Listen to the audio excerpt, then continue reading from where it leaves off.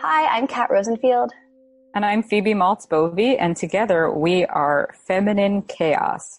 And Kat has been up to some very exciting things lately that she is going to explain. It's been a very exciting July. Um, the last time we chatted, I was uh, the, on the day of the release of this audiobook, Stan Lee's Alliance is a Trick of Light, that I had co-written with Stan uh, last year before he passed away. And since then, the book debuted on the New York Times bestseller list. Super exciting. And um, then I was off to California to do Comic Con, which was a four-day crazy whirlwind. Um, but very successful. We had a panel. It was a lot of fun.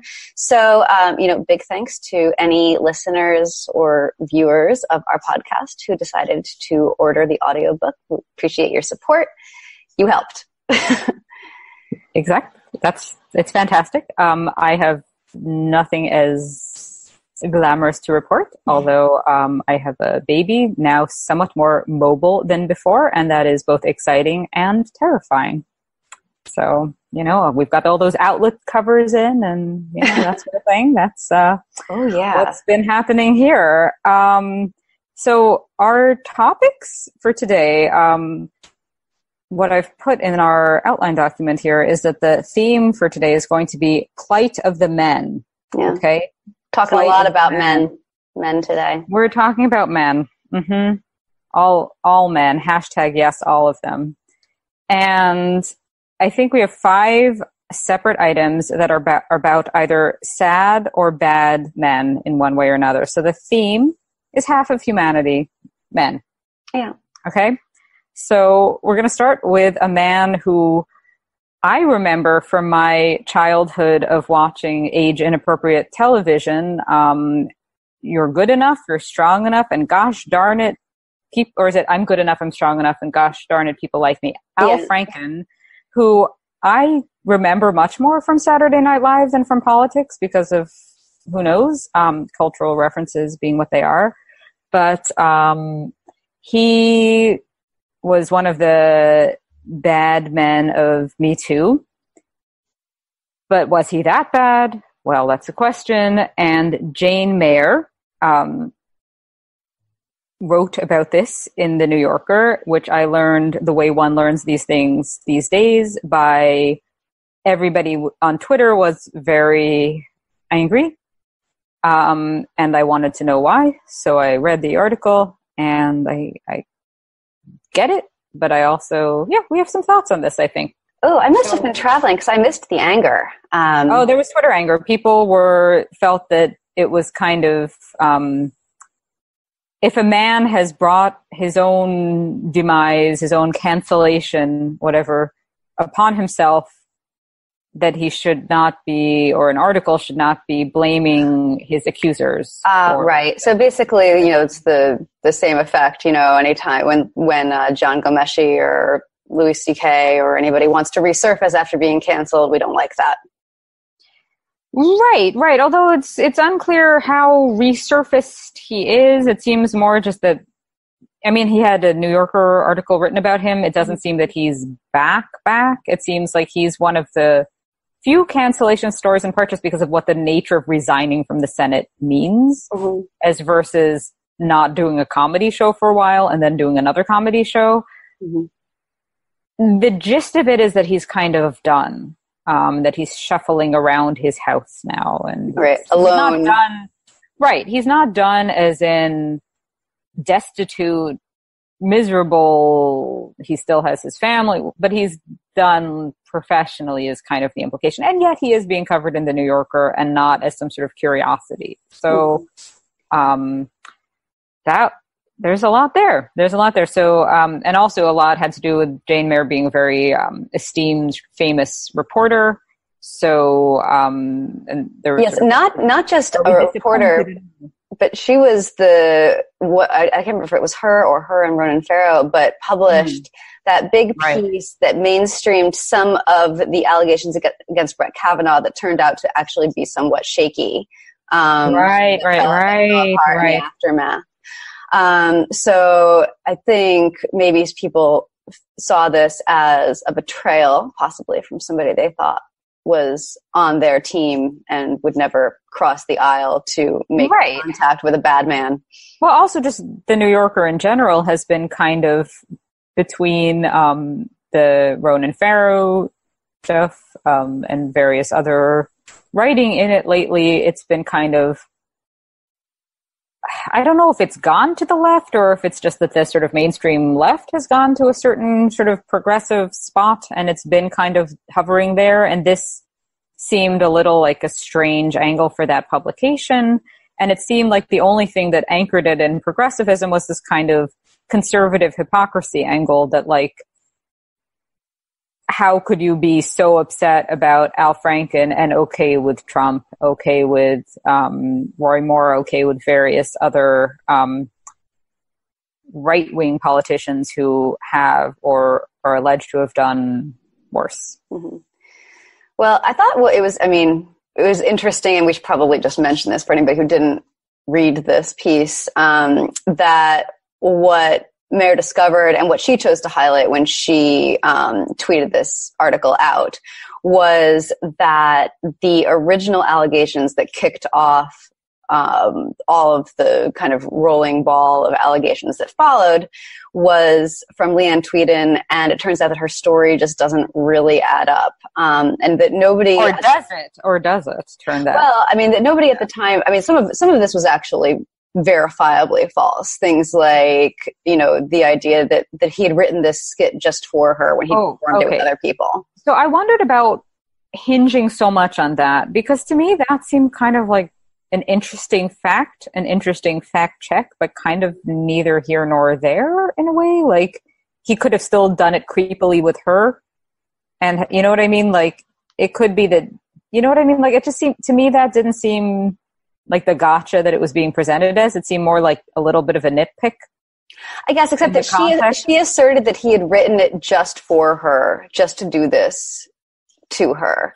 So I think that well, it's you know, weird. It's weird the notion that the skit was about like it seemed too meta. The whole thing that like it's a skit where somebody, the character in the skit, says he's has has written something to kiss a woman. Mm-hmm and then she claimed that he did that and that was just kind of that he himself not the character did that for a uso right. show right so that was weird um yeah. you know maybe maybe it's not i don't know if it's a gotcha i i thought it was i i don't know it it changed the way that i felt about it but perhaps mm-hmm. not how everybody felt about it mm-hmm. um, but also interesting to me is that um, so many of the people who contributed to the calls, you know, Franken's colleagues who called for him to resign without an investigation, um, without, you know, going through the normal process, which I always thought at the time was a poor choice.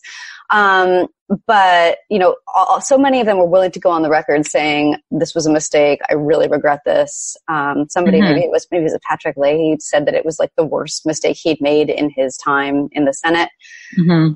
Um, and I wonder, you know, it's, it's interesting that Franken is the case that ended up being the focus here. You know, if you were going to do some kind of a walk back on a Me Too moment, um, mm-hmm. that it was him. And I wonder if you have any thoughts on why he specifically. Um, well, I think what's interesting about this one to me is, well, I mean, there are a couple funny things about it that stood out in the article, like this weird um, thing about Oh, I guess mm, I'll start with the sort of situating it like more um, big picture. Is that I think what this really shows is that Me Too doesn't allow for the possibility, and this is what I tweeted, so I'm going to be one of these people who quotes their own tweet, not quotes, but whatever, paraphrases their own tweets, which is very gauche. But anyway, um, it doesn't really conceptually allow for saying that somebody was gross but not evil. They're mm-hmm. saying that somebody has done things that are wrong, but not that wrong. And I feel like this is a fine case of somebody who behaved in ways that were wrong, but not cancellation worthy wrong.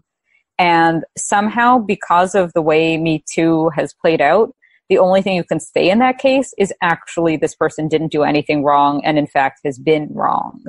And it seems like it can be both true that he was, that sort of canceled unnecessarily and that the way he behaved once it's laid out in an article actually makes it the article is meant to show you that he didn't do anything. And i hadn't really paid much attention to this particular story when i first heard about it and came away from the article thinking oh actually he's been kind of gross and inappropriate and something short of cancellation would have been necessary there. So one claim is that he would kiss random women on the mouth and that this is a New York greeting. I am from New York City originally. This is not a thing. Kissing random women on the mouth when you greet them who are not. I haven't experienced that either. I thought that was supposed to be a show business thing, which is a world that I'm not familiar with. So. I mean, I've been places out where you would at least have seen like this is not a thing it didn't make any sense that this line from the article was um, sorry he tended to hug many people and kiss some even on the mouth it was the new york hello goodbye kiss a longtime advisor told me and then um, told, not told me, told uh, Jane Mayer. And then she writes, the talk show host Randi Rhodes and the comedian Sarah Silverman have described Franken as a social, not a sexual quote, lip kisser. Silverman told GQ he has no sexuality, and then he wasn't happy about this, jokingly or whatever. Um, nevertheless, after Franken kissed a female acquaintance on the mouth in 2007 during his first campaign, an aide from South Dakota, David Benson, took him aside and said, Don't do that. Really? Franken said. Benson warned him that people might misinterpret it.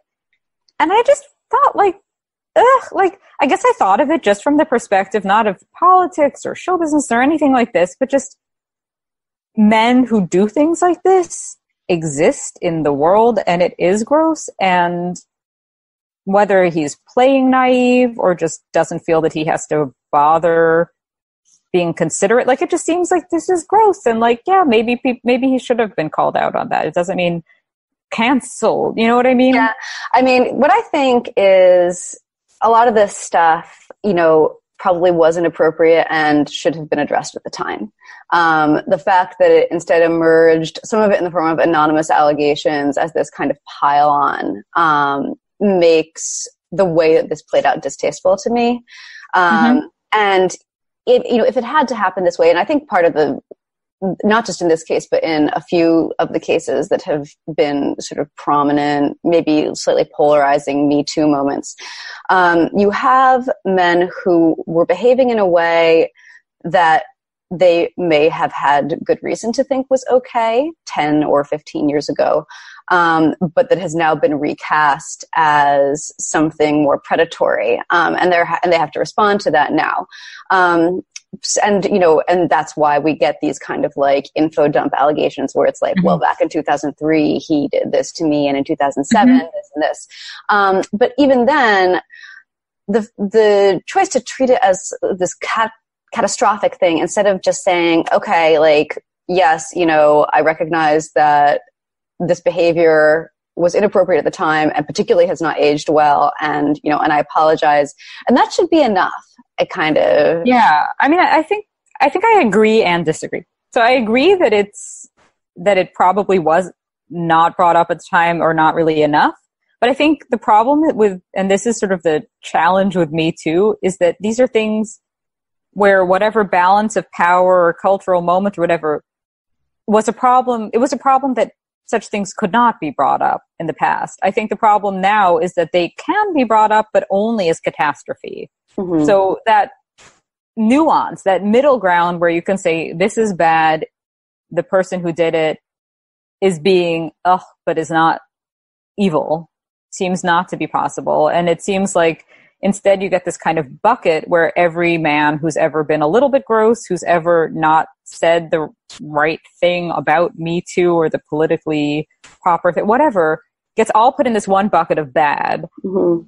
And it doesn't matter sort of how bad and there's no space to just kind of be like a little annoyed at anybody you know what i mean and then i think it just keeps it it reinforces the situation where all you can say if you feel that this was an overreaction or a pile on was that it didn't matter you know what i mean i feel like the missing space is to say it mattered but shouldn't negate everything else ever done. And I mean, I guess I feel like something about this article that was trying to say that the case had been overstated against him somehow in turn understated it, if that makes sense. Mm-hmm. Um, I guess that was kind of how I came away with it. And I guess what I also just thought in terms of like this conservative hypocrisy angle is everybody comes across looking like a hypocrite because this, this part of it that really jumped out at me was, um, so what some, one of these allegations that he'd been creepy, whatever, um, I'm quoting the article now. Franken was stricken when I related this woman's uh, comment, her comments to him. Look, he said, this has really affected my family. I loved being in the Senate. I loved my staff. We had fun and we got good things done, big and small. And They all meant something to me. He started to cry. And I'm thinking like every man who's been part of this Me Too thing has been upset about it. Mm-hmm. But to only be upset about it when it's somebody sort of like from your side is like, I don't know. I feel like e- like either you take a larger message from it that maybe destroying or canceling people over minor things is not great. Or, you know what I mean? Like, it just seemed like the New Yorker is going to be upset when it's Al Franken, but are they going to be upset each time? You know, that seems a little. Yeah, yeah. I mean, I think that's fair. And I mean, the, uh, the conservative, um, or right wing critiques that I saw of this article all pretty much made a version of that point. It was like, you know, if uh, like if you if this didn't bother you when you know Brett Kavanaugh was on the chopping block, you know why are you being so sympathetic now? Well, exactly. I mean, I guess I think I think it's worth considering that you know these things are upsetting. I think it's also worth remembering that if somebody has, if a man, for the purposes of this theme and this particular topic, has done something wrong and he gets in trouble, yeah, of course it's going to have fallout on his family. But you can't just say, well, then the actual feminist thing is um, to never get a man in trouble for anything because what about think of his wife and daughter? And speaking of daughter, there's another quote that really jumped out at me. That was Franken's office proposed that Franken's daughter speak with um, Jill. Is it Gillibrand or Gillibrand? Oh my God, Gillibrand, I think. I've not watched. I've like read, but not watched in a while. Um, but that okay, rather than him that that his daughter should get involved. And that just seemed very like it did seem sort of maybe Kavanaugh-ish. The whole like as the father of a daughter angle. Maybe I, I'm willing. I'm willing to interpret that charitably in that you know I if it had been me, I wouldn't have wanted to talk to Kristen Gillibrand at that point either. um, and I would have been, you know, yeah, inclined to, to dispatch somebody who, you know, who was on my team, but who was also a member of the um, aggrieved sex. To I guess I don't know. I feel like I just think there should be some sort of thing where people's immediate family are just like have nothing to do with it and should be assumed to be on your side, which is nice. But like, of course they support you, but it doesn't matter in a way. Like for the bigger, I don't know, the involvement of family seems strange to me. Yeah, but I don't know. I, I, guess I'm not. I'm not sure what the biggest takeaway here is. Um, I mean, aside from the the Me Too angle, I think is just this need for a middle ground so that people aren't constantly this one's fine, this one's evil. Um, politically, I guess maybe it's that Democrats are, you know, and this could be the like what gets Trump reelected style conversation, but like you know, Trump gets to be the kind of, you know, avatar for the id of everybody, whereas the Democrats like slip up a little bit. Like just reading that Warren has had unpaid interns, which I think is bad, but does that mean never mind, let's cancel her? You know what I mean? Like mm-hmm. every little slip up is is cancel worthy yeah, yeah. Well, I mean, somebody. Like what vacuum does that create, kind of? Yeah, I feel like I saw somebody. I'm not. I don't remember who. So sorry, that person, if you were wherever you were, um, was pointing out that the optics of you know having Franken still be you know in his position um, in politics you know, having gone through an investigation or not, at the point at which Kavanaugh was being confirmed, might have been troublesome for the Democrats. Yeah. I guess, I mean, I, I also would say that these things, um, and this, it kind of very tangentially connects to some of the publishing stories we've talked about.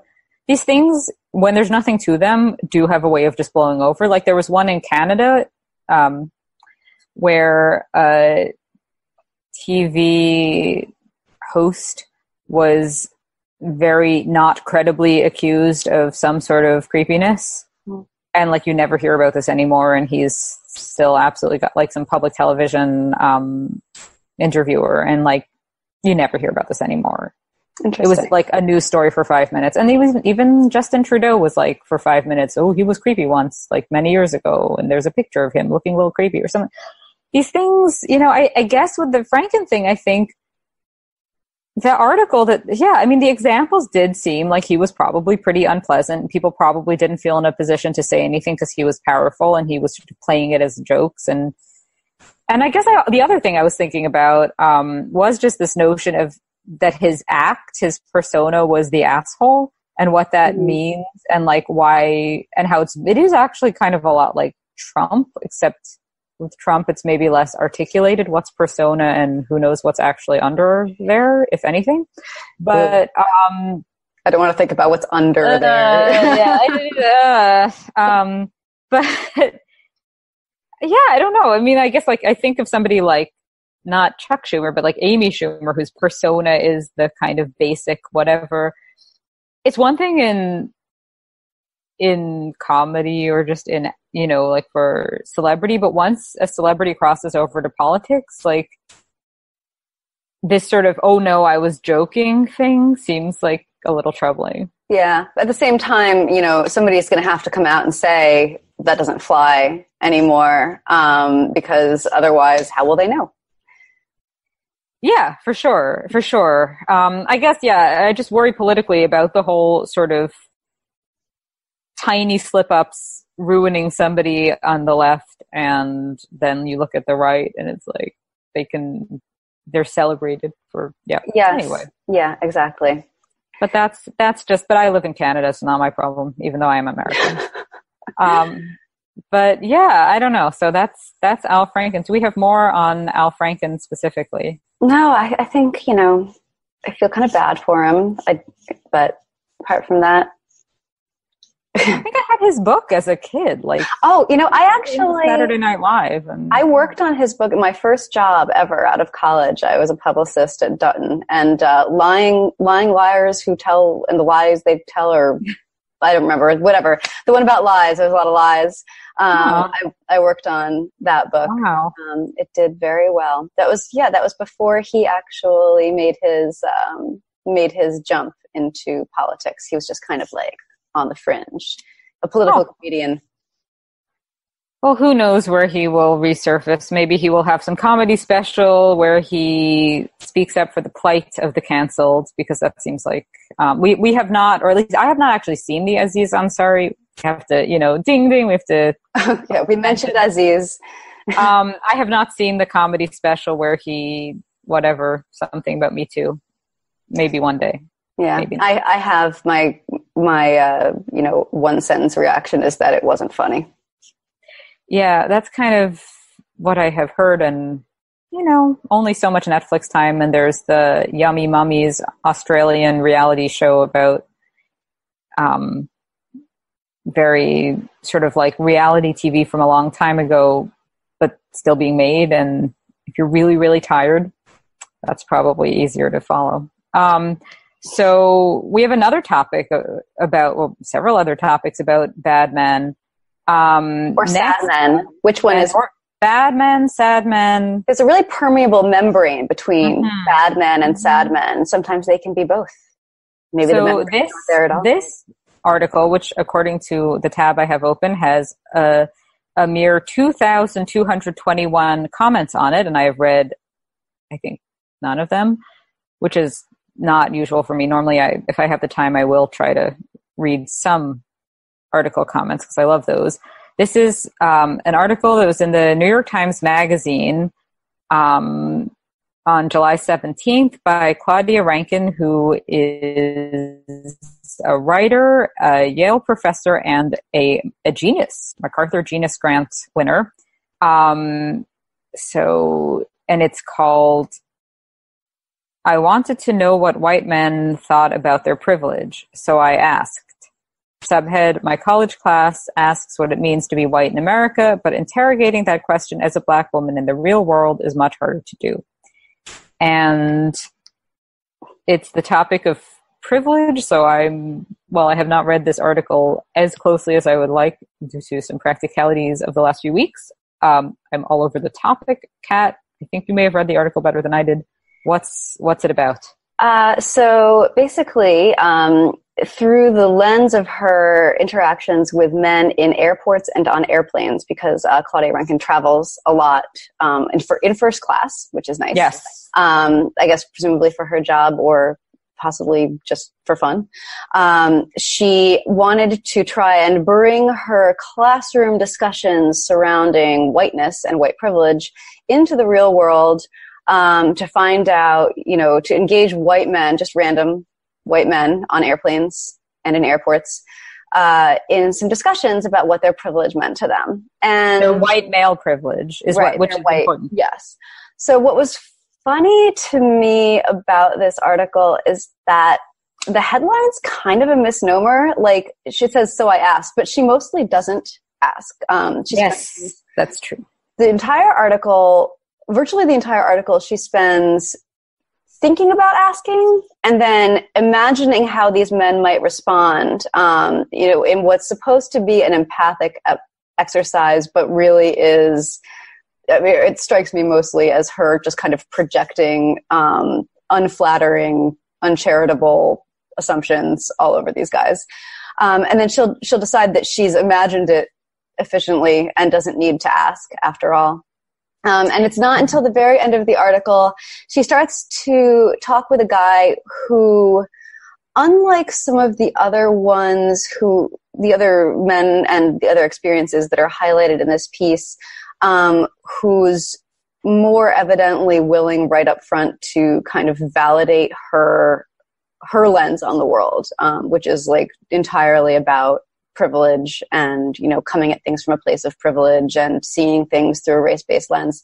Um, and so she actually does talk to him a little bit but she still doesn't ask him what he thinks. She just kind of instructs him um, about right. how he should think differently.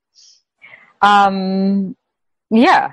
So it's definitely striking that the actual asking of white men about their privilege does not really form the I've read of it. Um, yeah, maybe just a just a bad headline. You know, it seemed knows? to yeah, it seemed to come up rather late and not be very central. Um, what a couple things struck me about it. Um, one was the sort of the perennial elephant in the room in conversations about privilege, namely class privilege, and where, if anywhere, that fits in.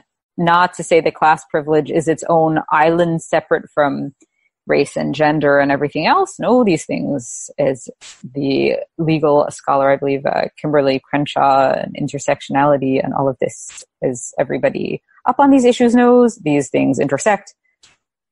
But where is class privilege in this? Well, and I, I wonder because it's about who, who are the white people who come up in this? Well, students at Yale primarily and people flying first class now, that's not to say that none of these people would have white male privilege, but they would have something beyond what the typical white man would have, namely privilege, privilege, like in the old sense of right. lots of money and connections and all of this. And evidently Claudia yeah. Rankine has that too, since she's in all these first class cabins. Right. Well, she, she would certainly, I am not an expert on her life. Maybe it's all earned advantage but the point is she would also be moving right in those worlds. And i guess what i think can get tricky and this comes up even with um, peggy mcintosh who's um, the who came up with the notion of uh, the invisible knapsack of privilege like where the things the the specific experiences that are meant to be sort of universal to either whiteness or maleness or whatever it is will often be very linked with wealth. And it doesn't mean that they don't have anything to do with race, but it means that they aren't going to extend to everybody um, who's white or everybody who's male or all white men. Um, and that's what I think got a little tricky there. Um, to me was like, what is this really about? Like what, what, what sort of privilege is part of it? And the other aspect though, um, was just this notion of, um, like, and then what? Like, what's meant to happen? Let's say a man in first class, white man, you know, in a nice suit for the purposes of argument, says, I acknowledge my privilege. It is massively unfair that I am the CEO of this company, of the partner in this law firm, whatever. I acknowledge it solemnly. I know I didn't deserve any of this. Then what? Let's say he says that. Is that problem solved? Is that anything? Is that just preventing somebody who hasn't had his advantages from even the joy of kind of yelling at him? You know, what? like it just seems almost the joy of knowing. Well, I don't know. Like I just wonder. I guess I wonder. It all seems very, I guess, discursive would be the way to put it. But like, what's it, it all seems to be anchored in getting somebody to say the right thing and it seems completely like this this approach not just this article but just this approach to thinking about privilege it seems very much about getting people to say the right thing and completely ignores the fact that um, lots of people who know they're privileged don't want to, the norm is not to want to give it up and this comes up specifically in the article with um, some the man does who she talks to says he feels that his son was like deserved a place at Yale but didn't get in or was waitlisted or something, right? Oh yeah, he said he said that his son did not get into Yale, and it was he said it's apparently he said uh, this is the quote: "It's tough when you can't play the diversity card." Right, and that's rude and racist. However, I don't think that you can.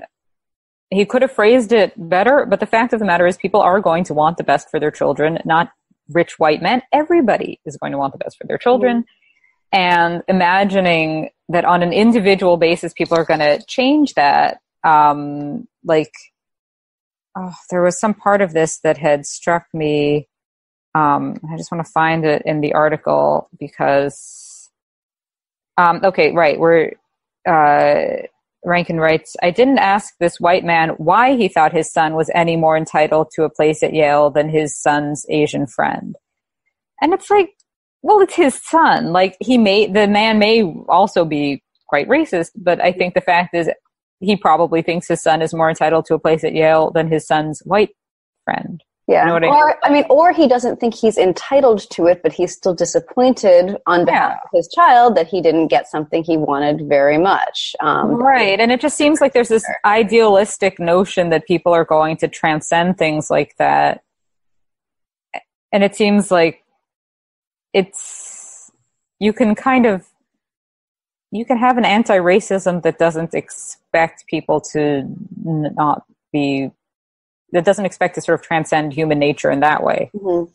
Yeah, I have actually there's something that I keep thinking about with regard to this guy's comment, which is that since we do currently have affirmative action in place, um, it's not inaccurate to say that you know uh, like a white kid from a privileged background lacks things you know uh, because he's not from a marginalized background um, which you know we're currently saying like because marginalized people have been excluded you know historically from you know these universities and these spaces um, on the basis of race now the way we're going to solve that problem is that we're going to make it advantageous to be from a marginalized background. You know, it will count in your favor.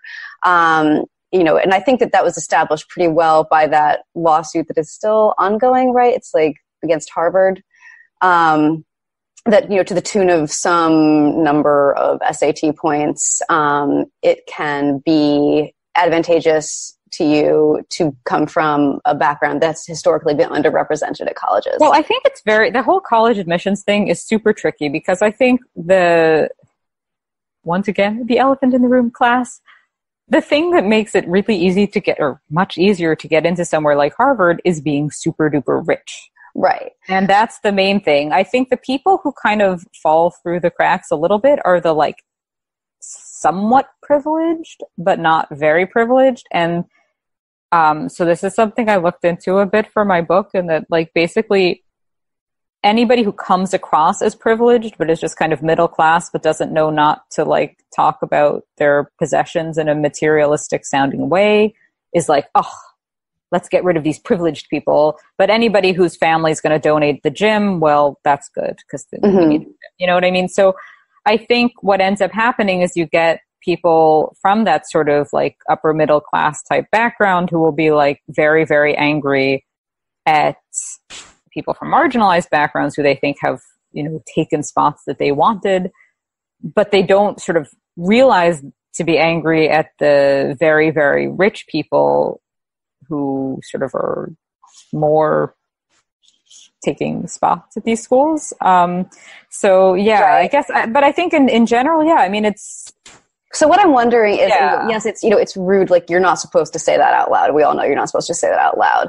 At the same time, I I wonder if it's truly is it really racist to you know to acknowledge that the current system makes uh you know like a semi privileged mediocre white kid um, you know, even or even if he has good grades or whatever, like that there are limitations to how appealing he well, can make himself to. I don't know if it's racist in the sense of if you talk about one very specific fact, but I think what can be problematic to use that annoying word is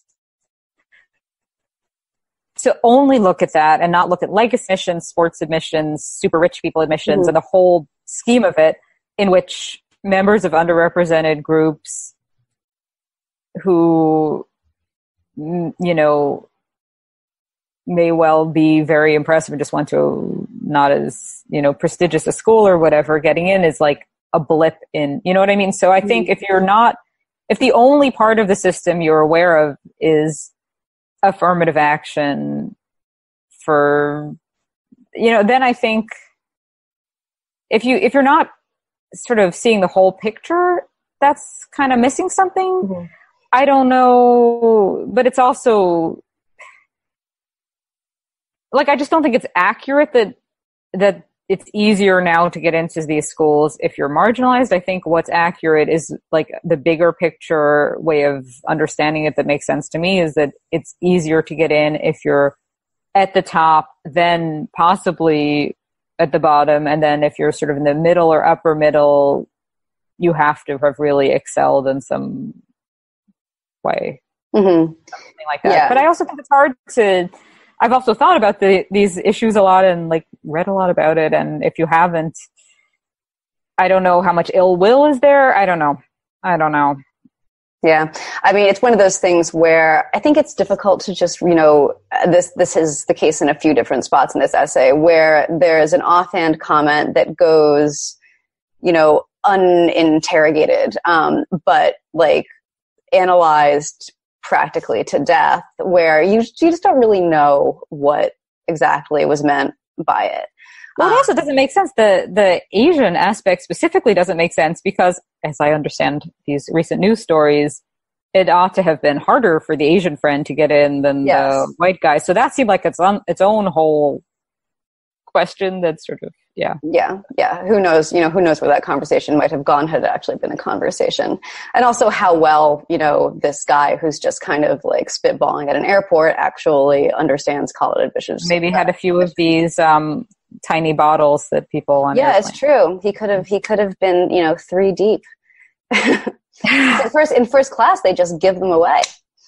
Oh boy. I i don't know. Um i guess yeah. I want to. So the thing that that stuck out about this essay to me um, was how. I mean, it's it's one of many, I think, at this point, examples of this phenomenon, but how ineffective it is to try to take privilege framework out of a classroom or out of like this academic space and start trying to apply it to your real world interactions with other human beings because yes. all that happens is that it, it obscures everyone's humanity because identity is so big and so important. Um, mm-hmm. and you know, it just doesn't leave room for you to recognize. I mean, it's it's unfortunate that you know Claudia Rankine in in this essay, I think, doesn't see the humanity of a lot of the men that she's you know trying to engage with, um, because she just sees them first and foremost as representatives of their race and their sex, and um, you know if at all, it's a distant second that she sees them as individuals. But the other thing that's bad is that she assumes they're looking at her through that same lens, um, which I think is just not as common, honestly, as people in these academic circles or you know progressive circles where privilege framework is is used a lot to have these discussions i don't think it's as common as they might imagine well, I think so. There are a couple of things there, um, and I will try to restrict it to a couple of things because this is a book topic, and I, even though my book is like from a million years ago, well, whatever, two years ago now, I um, I'm still obsessed with the topic. Apparently, um, one is the whole feelings projection thing, and that is just any article that's based on this person surely feels X about me is always a little like her gut instinct about this might be right, but who knows? And it's all sort of tricky. Mm-hmm. But also um, this question of individual. I don't know if it's about academia versus the real world so much as just like these are just things that are just true, all things equal in the world, but they're not true about individuals necessarily. So all things equal, you can say which groups have it easier or harder. On an individual basis, you just don't know. And I think that's um, where the privilege approach kind of um, falls apart. And I'm thinking about a tweet that went viral recently that I have to bring up in this context um, by the writer uh, Nicole Cliffe about saying that um, having decent parents is a huge form of privilege, something like that. And it's like, that's true in a sense, I, I, mean, I would rather say that it's it should be the norm and it's bad if you don't rather than saying it's privilege, but that's another whole semantic thing that I could I'm not going to get into. But the point is like the privilege framework is about obscuring things like that because that's not an identity category. It's not visible apart from uh, these prompts on Twitter where people share everything. Most people are not very public about things like this, and you're never going to know that about them. And you don't know which of the douchey seeming white men in first class at an airport had nice parents and which ones had abusive parents because you can't assume you don't know. And i right. feel like the privilege framework is very much about picking this kind of set number of identity categories maybe adding to them here and there but saying like if you're a cis straight white man you don't know what it's like to this this or this and there then there can be a homeless man who's cis straight and white. Does he really have it so easy? You know things of that nature. So I think the problem with the privilege framework in part is really this um, making it impossible to understand that somebody might have it really bad, but in a way that can't be easily categorized. Mm-hmm. Um, not that she should be pitying these men she sees in the airport because they could be having a bad day. I mean, it's just you just don't know what's going on with people, basically. Yeah, I would say you know, not pity, pity, not necessary, but just, you know, it, it takes a lot of energy to look around at people and just kind of assume the most uncharitable thing about them, about what's going guess, on in their head. Yeah, I mean, I guess well, the other thing though that did come to mind is I think sometimes people are super racist in public spaces, and I think the problem with focusing on the sort of very micro of microaggressions and the sort of feelings projection aspect is I'm sure, like, I really would assume that she has had more sort of unambiguous experiences simply from just when I would commute on New Jersey Transit um, a few years ago. Every time, so this is not going to apply. This is intersectionally a little bit different. Every time there was a seat with a black man, however dressed, however old, sitting in it, the seat next to that man would be empty. Nobody would want to sit next to a black man on that commute. That's bizarre. Now, I am a big fan of sitting down, and I don't understand this, uh, but this would be this thing that I would notice, and I, I'm sure, notice only a tiny fraction of such things, being that I am not a black man, obviously.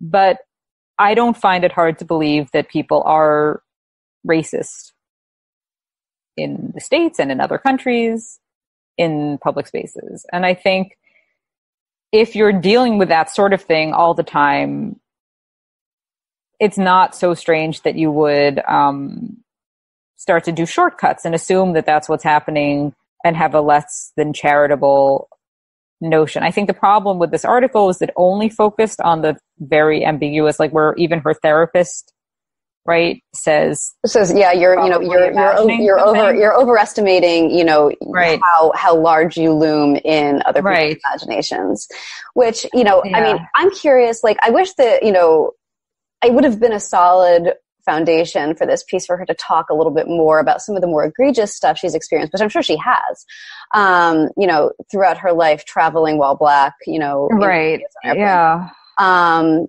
or just in general, you know, to to kind of frame the reasons for her approaching these situations the way she does. But as it is, um, so when her when her therapist brings this up to her, um, and I thought this was really interesting she kind of takes offense to it. She's like, well, is that supposed to make me feel better? Like that I was, you know, that I was invisible to these men as opposed to, you know, being actively insulted. But I mean, that's the case for most of us. You know, we just are not. Yeah. And in most of that much attention we're all us. invisible to one another. And I yeah. think, yeah, I, I think it's tricky because I think there needs to be space to write about the subtle and things like that.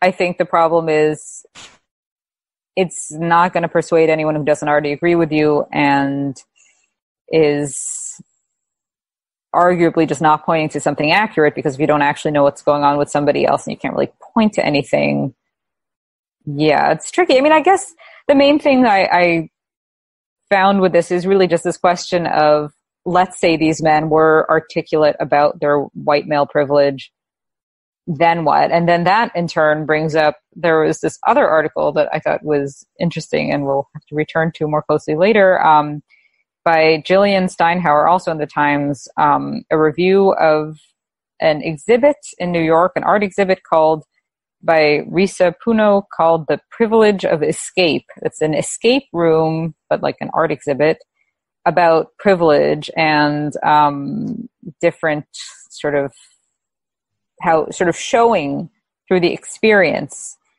um, how some have it easier than others. And from um, Jillian Steinhauer's review of this, I thought this was super interesting. She wrote, um, when I found out that, and she overall liked the exhibit, but she wrote, uh, when I found out that my team had been given an advantage, I felt guilty as if we had cheated.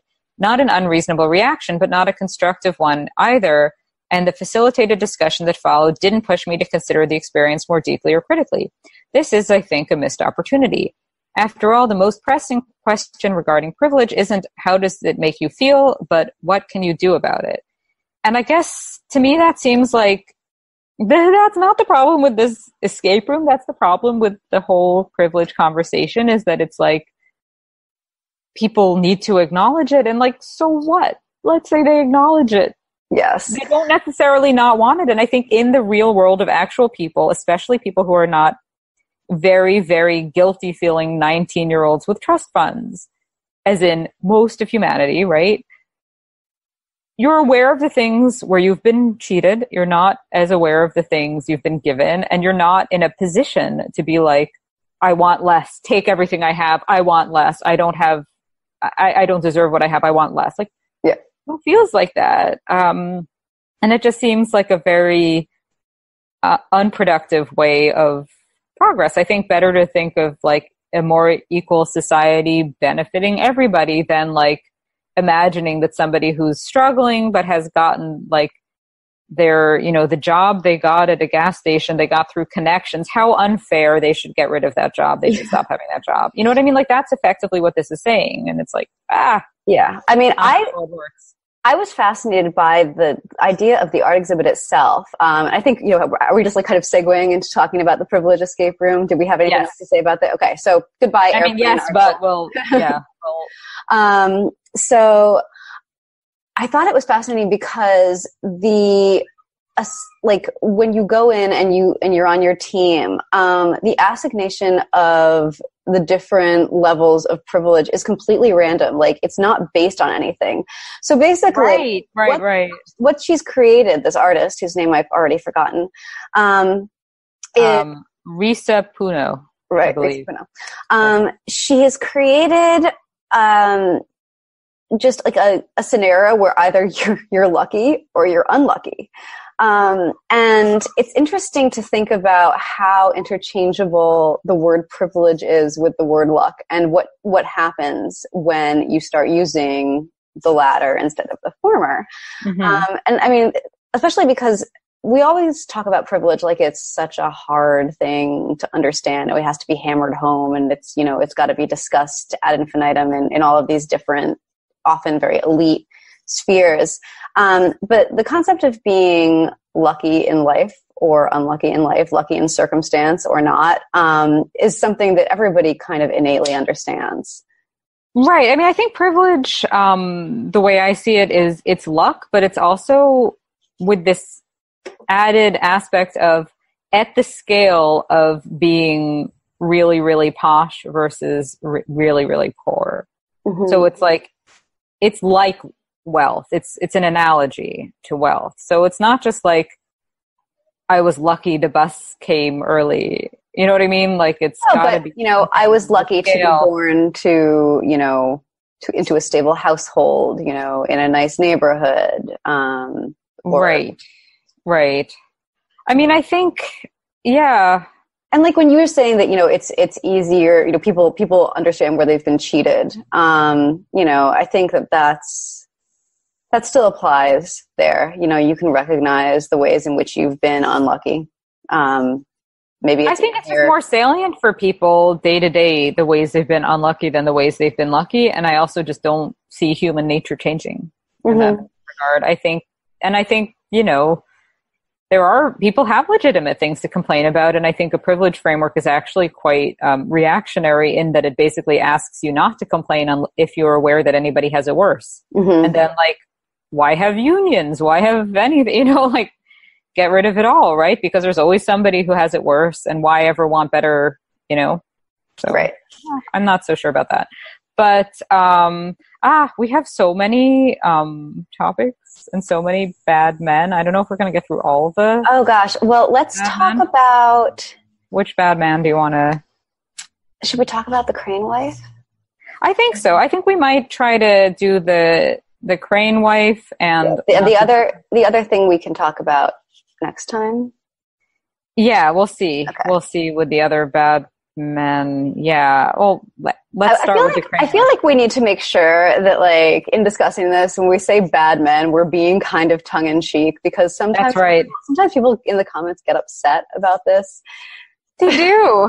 They do. They think that if we're talking about a phenomenon, we're endorsing it, even if we're talking about it critically. But, you know, comments. What are you going to do? When we say bad men, we're we're just you know we're just being zeitgeisty. We don't actually right. think that all of these men. Well, we want them. We want them banished to Devil's Island, like Dreyfus, to do a little crossover with the other podcasts um, that I you, You've managed now to work the Dreyfus affair into this conversation. I had to. I had to. Um, we got a bingo yeah, so, card going.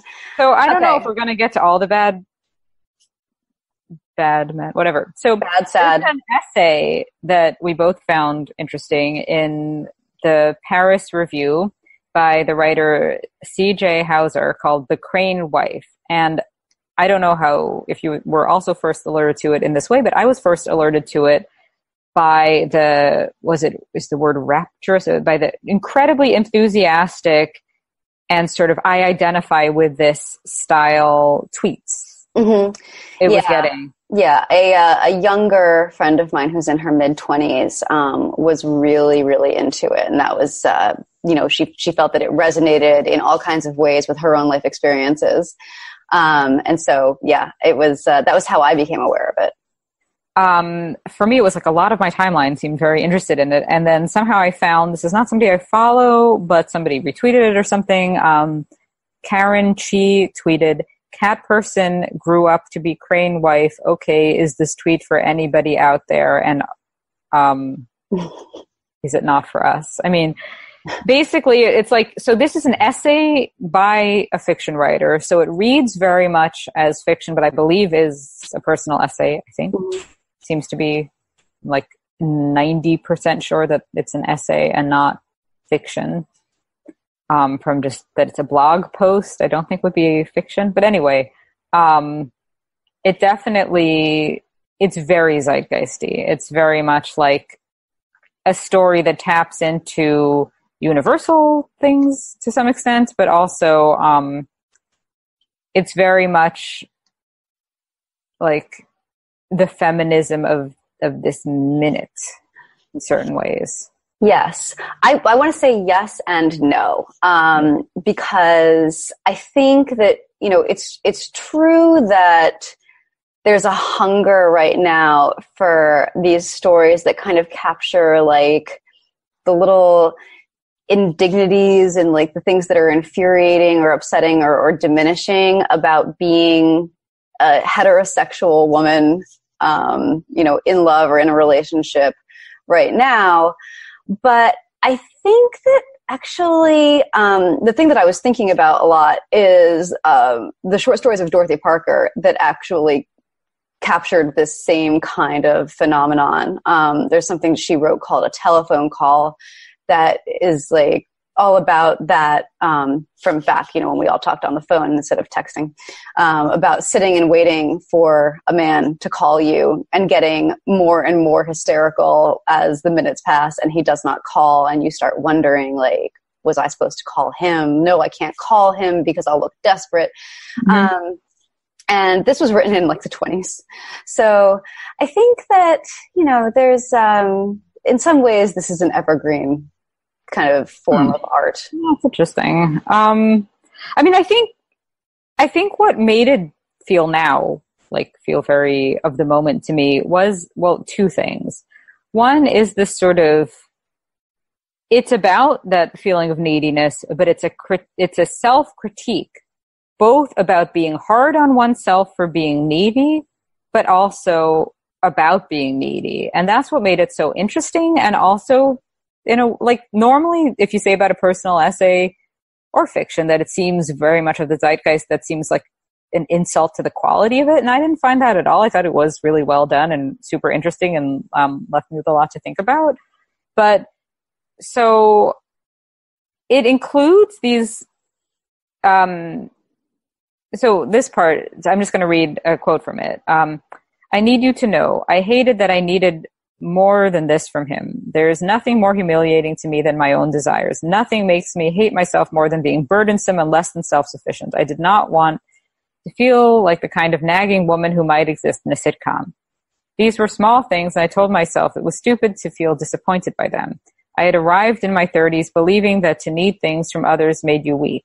I think this is true for lots of people, but I think it is especially true for women. When men desire things, they're passionate. When they feel they've not received something they need, they're deprived or even emasculated and given permission for all sorts of behavior. But when a woman needs, she is needy. So it's this kind of feminist case for caring. And I think, I'm thinking of, I think it was Alana Massey who wrote something like against chill It was like from a few years ago, but it seems similar to that, like the sort of feminist case against being the cool girl, like mm-hmm. the Gone Girl, which I think is back there. Um, especially this line um, where her ex fiance, he said he wanted to be with me because I wasn't annoying or needy, because I liked beer, because I was low maintenance. So it's this kind of like feminist rejection of that. But, and this is where I think it gets super complicated, it's also like there are these weird it's not exactly privilege disclaimers but it's kind of like these asides apologizing for caring about this at all to begin with. So um, there are worse things than not receiving love. There are sadder stories than this. There are species going extinct and a planet warming. I told myself who are you to complain? You with these frivolous extracurricular needs. Um, and she writes also later about like sort of famine and stuff. And she's so it's kind of this weirdly tentative defense of even writing about love to begin with. Mm-hmm. And that to me seemed very now that it has to be framed as this kind of like professional triumph story. Like she transcends the breakup by having this very interesting adventure where she's doing um, scientific background research for a novel. So it's not that just that she throws herself into work, but it's interesting work. Right, and she calls off her, she calls off her wedding. Reader, right. she did not marry him. Right, right, right, right. She writes that. Yeah, she does. Um, and that, like that, there was something sort of privileged disclaimery about the sort of like why am I even talking about love to begin with, but also this sort of like as if the most feminist stance to land on is like like the the essay hovers between that the most feminist stance to land on is to not care about love at all or to sort of feel entitled to care about love and mm-hmm. it doesn't really have an answer and i thought that was interesting yeah i mean i really thought this was a phenomenal piece of writing and i'm really looking sure. forward to, to, reading her book um, which is called family of origin i think i am i am ordering it today, and I'm very excited. Um, oh, I want to read it as well. She, yeah, she's a, yeah, she can really, she can really, really write. I mean, it's um, just like it's so well done, and I, I got why everyone was sharing. I think the problem sometimes when things like this happen and then when they kind of blow up is you imagine that it's going to be like a think piece, mm-hmm. and then it's like there's a lot more to it. But on Twitter, it's very hard to tell. Like I could kind of guess from just like who was sharing it that it would probably be interesting, but you never know. Yeah. I mean, I actually, um, maybe it was just because I read it the day that I had taken a red eye home from San Diego and was, you know, so exhausted and like just not interested in being kind of in the discourse at all. But when I read this, I just read it as a personal essay and not really as like, without having to worry about kind of what everybody I knew in, you know, my professional and social circles might be saying about it and whether it you know how it fit into the zeitgeist it's just like a really well done piece of writing. And it was a relief actually to engage with with an essay in that way without all this extra baggage. Oh i didn't have the option because i'm trying to write some stuff about something tangentially related to this and then it's oh. like oh. it fell into the work pile. But it is really good it is really good. Yeah. Um, um, I actually, I'm just going to admit that I, I stayed up um, that night Googling more than I probably should have, trying to figure out who the fiance was because he sounds like a monster. Um, but then I started, yeah. then it occurred to me, and this was, this was the one like piece of analysis that I did do that, um, you know, when somebody describes their ex like a villain, that's often a sign that things were a little more complicated than you're necessarily going to hear about from them. Um, right. And yet, I didn't care that much. It's still a really good essay. yeah, I think it's definitely good. Um, I think as much as our remaining, uh, I don't think we have time for them. Two more topics are amazing, and we yeah. may just have to. So let's do, let's do them as recommends, maybe at least. For, yes, let's do yeah. that. Let's do that. So that leaves us with, um, well, two on-topic recommends then, and one very tangential recommend. So um, one is the Harvard professor who got scammed in the cut by uh, Kera Bolonik, um, or Bolonik, uh, Bruce Hay, a law professor at Harvard, who um, was scammed in a very elaborate way, um, and it's sort of unclear why. Like the woman who scammed him was kind of like a honey trap, but like with no real purpose other than the patriarchy. Yeah, like just wanted to just wanted to entrap him and humiliate him. Yeah, actually, um, so this is I mean, mostly we're just saying like to recommend this because oh, oh we're gonna it'll be like three hours what, later. What yeah. a story! Um, but I it did strike me that there was an example of undiscussed or less discussed privilege going on in this essay in that Maria Pia, one of the um, main antagonists uh, in the piece, would never have been able to um, do her do her evil deeds if she weren't a very beautiful woman. Um, Ooh, interesting. Yeah. Um, Pretty well, privileged. Beauty, mm, could be. I mean, the the beauty angle interested me as well in terms of this discussion that kind of broke out on Twitter that I, you know, here and there tried to get into. Um, but that like should was he a fool is kind of the basic question the the piece poses but just specifically like was he a fool for not being suspicious that a much younger, beautiful woman came up to him in a hardware store and told him that she finds him very attractive? And I may have weighed in on this saying that I think women, due to whether it's male privilege or something unfortunate for men, I don't know how you want to put it, I don't think men are like rated according to their beauty as often by randos their whole lives. And I don't think they have as much of a sense of how attractive they are or are not. Plus, I think there's this kind of misguided notion in the culture that because some very famous and charismatic and rich old men do very well with like supermodels that all older men are inherently interesting to attractive younger women.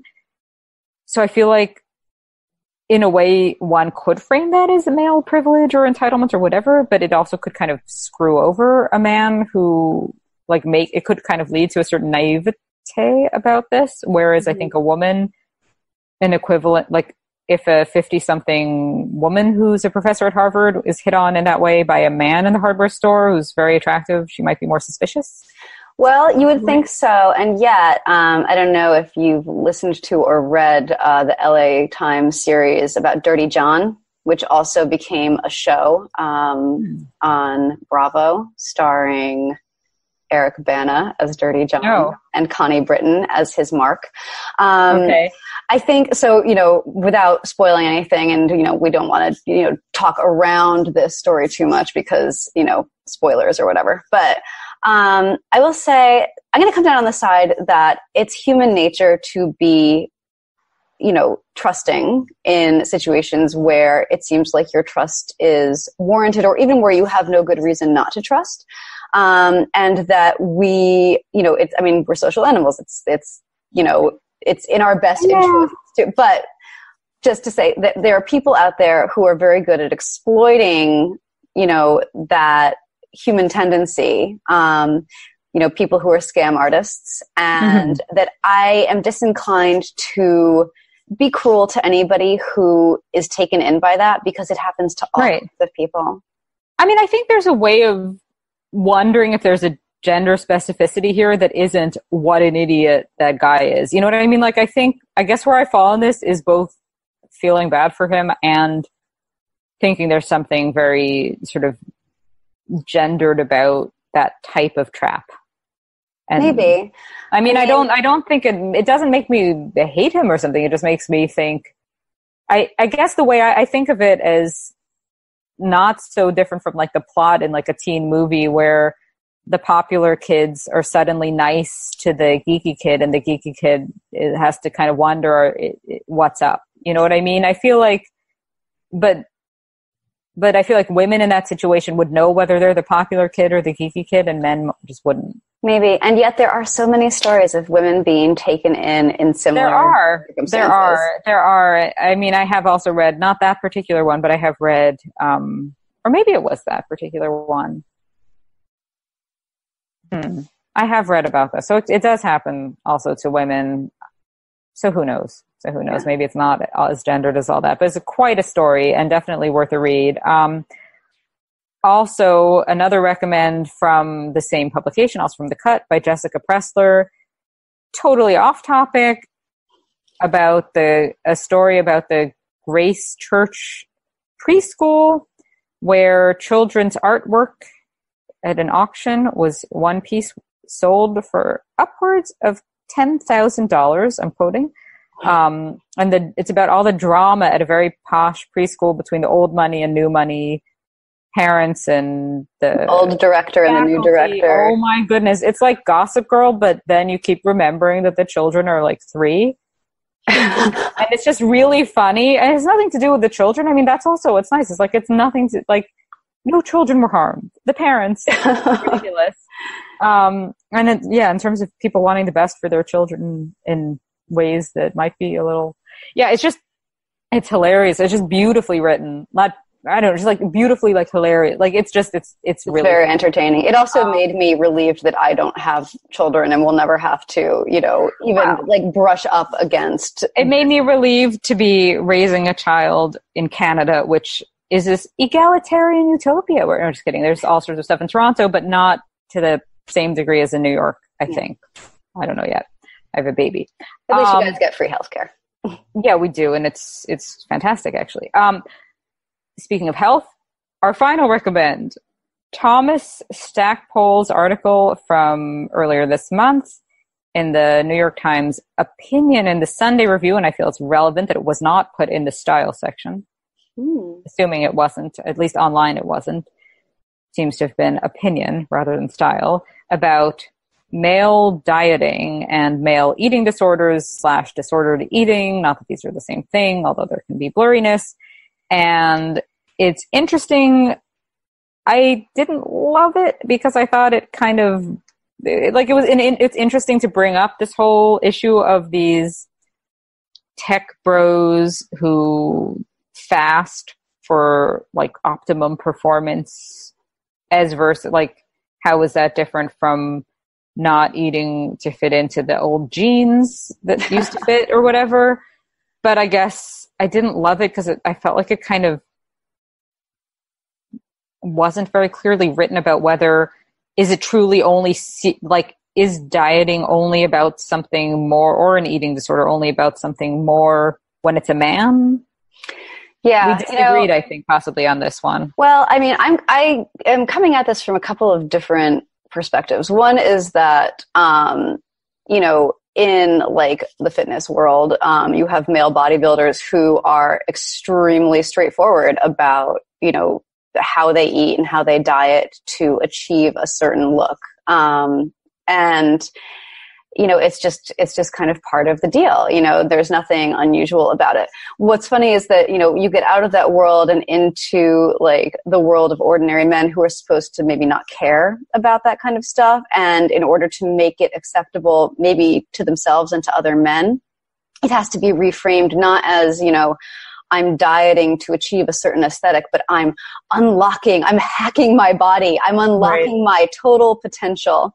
Right. Um, but the other thing, and um, this was, I think, something that you know we both kind of quibbled with, um, but maybe from different angles, is that um, he mentions that eating disorders have been framed as a as a women's issue for a long time, um, and I'm thinking, you know, they've been framed really not just as a women's issue, but as a feminist issue, with the fault supposedly being, um, you know, that the patriarchy imposes these punishing beauty standards on us.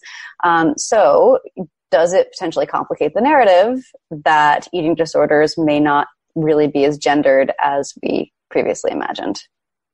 Ah, that could. Hmm. Well, it's like with the incel article and the about the incels who get all this plastic surgery. Um, I think the notion that men don't care what they look like is simplistic. It, it gets at something true. I think looks matter more for women than men in situations that don't even have to do with dating. You know, like I think for everybody they matter in dating, but I think for women, just like getting a job being attractive will matter more maybe than for a man. Things like that would be just my hypothesis there. Hmm. But, um, and just sort of how you're treated in society, maybe it matters more, but I think men care a lot more than women might realize. I think that's probably accurate. Um, but I guess what I, I don't know, I feel like I've read things on this topic over the years, and including this, that are sort of like, you would think that the only people who have eating disorders are these vain teenage rich white whatever girls. But in fact it's a serious issue that impacts other demographics. And it's like isn't it serious even if it's impacting the overrepresented yes. i don't know. Do they not yeah, suffer? It's true. But i mean though not all but the ones with the eating disorders yeah, yeah. i mean why not? Um, mental mental health and all of that. So yeah, I don't know. Um, I I'm gonna come out against not eating for a day a week. Um, but I'm not a health professional. I have a PhD in French, and we believe in having lots of wine and cheese and pastries. Yes. So, well, I you know I'm going to let you have the the last word on that. As a as a semi fitness professional, I endorse the uh, the French way. Well, très bien, as they say in the French. Um, And, and this great. concludes. Yeah, Yeah. yeah. I think that's we have so much more, but we have to stop at some point. So, yeah, I had to turn off my air conditioner to have this conversation, and it's getting really hot in here. yeah. We don't we don't have air conditioning in this room, um, and I've been getting stickier throughout. Yep. All right. So, um, glow, a glow. It's a glow. Yeah, Definitely. you're you're welcome, viewers. Absolutely. That's it's intentional. All right. Uh, till next time. We've has been Feminine Feminine chaos. Bye. Bye.